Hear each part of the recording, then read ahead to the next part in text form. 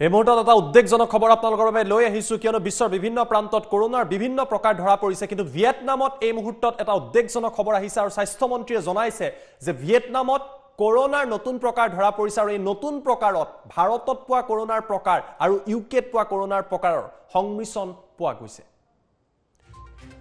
এই মুহূৰ্তত জনাই আছো ভিয়েটনামত ধৰা পৰিছে কভিডৰ নতুন প্ৰকাৰ কৰোণা ভাইৰাছৰ নতুন প্ৰকাৰ।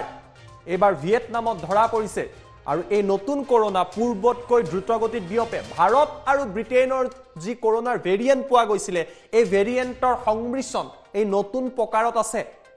ভিয়েটনামৰ স্বাস্থ্যমন্ত্ৰীৰ তৰফৰ পৰা আনুষ্ঠানিকভাৱে এই তথ্য প্ৰকাশ কৰা হৈছে।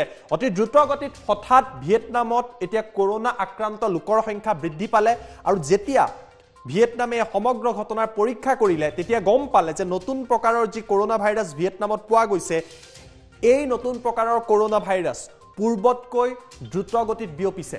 আৰু সেইবাবেই এই নতুন ভেৰিয়েণ্ট ধৰা পৰাৰ পিছতেই কভিড পজিটিভ লোকৰ সংখ্যা হঠাৎ দেশখনত বৃদ্ধি পোৱা পৰিলক্ষিত হৈছে।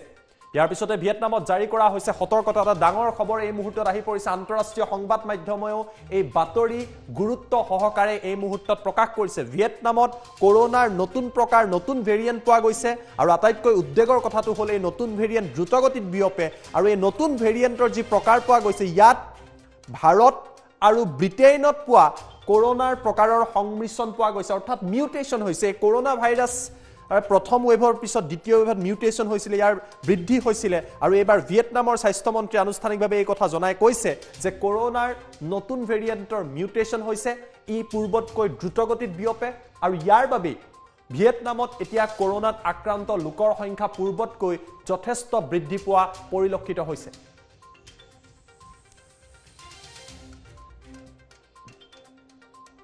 এই মুহূৰ্তত আমি আপোনালোকক জনাই আছো এটা ডাঙৰ খবৰ।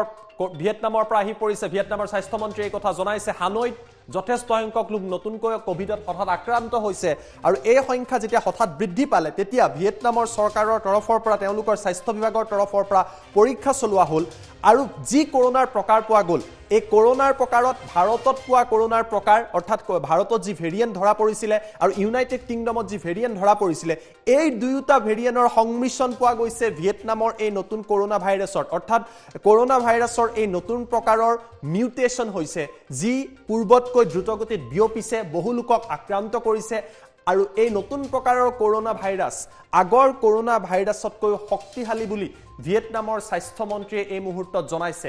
হানৈত যথেষ্ট সংখ্যক লোক আক্ৰান্ত হৈছে আৰু দেশখনত এই মুহূৰ্তত সতৰ্কতা জাৰি কৰি দিয়া হৈছে নতুন প্ৰকাৰৰ কৰোণা ভেৰিয়েণ্টক লৈ। এই নতুন প্ৰকাৰৰ কৰোণা ভেৰিয়েণ্টত যিসমূহ ভেকচিন আহিছে ভেকচিন কিমান কাৰ্যক্ষম হ'ব নে নহয় এই কথাও এতিয়ালৈকে স্পষ্ট হৈ পৰা নাই। কিন্তু নতুন প্ৰকাৰৰ কৰোণা ভেৰিয়েণ্টত ভাৰত আৰু ব্ৰিটেইনৰ ভেৰিয়েণ্টৰ সংমিশ্ৰণ ধৰা পৰাটো অতিকৈ উদ্বেগজনক কথা। অৰ্থাৎ কৰোণাৰ সময় যিমানে গৈছে কৰোণা ভাইৰাছৰ সিমানে মিউটেশ্যন হৈছে আৰু নতুন নতুন প্ৰকাৰ আহিছে আৰু এইবাৰ দ্ৰুতগতিত বিয়পি পৰা নতুন ভেৰিয়েণ্ট পোৱা গৈছে ভিয়েটনামত আৰু ইয়াক লৈ উদ্বেগ প্ৰকাশ কৰিছে ভিয়েটনামৰ স্বাস্থ্যমন্ত্ৰীয়ে।